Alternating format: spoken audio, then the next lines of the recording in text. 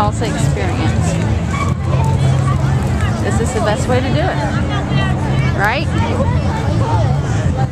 Well, you just walk and make sure I don't run into anything. We'll be fine.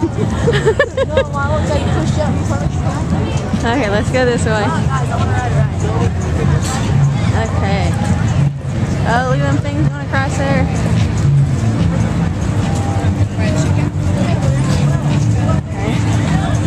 supposed to guide me, and I don't see any guidance.